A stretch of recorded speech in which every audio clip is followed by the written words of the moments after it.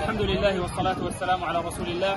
Bugun G'azo sektoridagi ommaviy qirg'in va ocharchilik urushining 267-kuni. Saxovatli qo'llar xayriya fondi o'laroq sizlarning yordamlaringizni G'azo sektoridagi qochqinlikdagi aholilarga ulashishlikda davom etmoqdamiz. Ushbu xayrli loyihalarga oz bo'lsa-da hissa qo'shgan barchaga aytamizki, Alloh taolo sizlarga, ahli oilangizga va molingizga yaxshiliklar ato etsin. Toza ichimlik suvi tanqisligi sabab unga erishish juda qiyin holatda sizlarning yordamingiz bilan aholilarga ichimlik suvi taqdim qilmoqdamiz. Alloh taolo sizlardan rozi bo'lsin. bo'lsin. Bugungi loyihamizda ichimlik suvi va issiq taomlar ulashamiz. Alloh taolo barchamizdan qabul qilsin. بارك الله فيكم السلام عليكم ورحمة الله تعالى وبركاته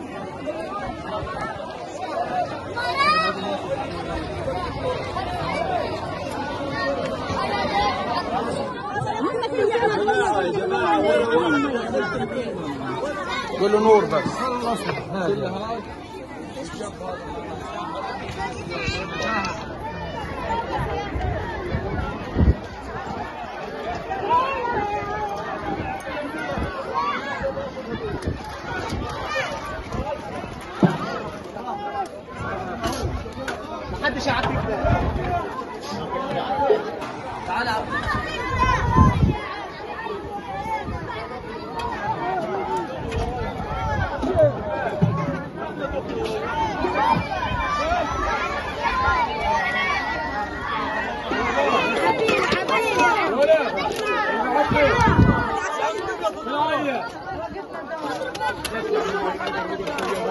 يلا يا عم خلاص عليك صور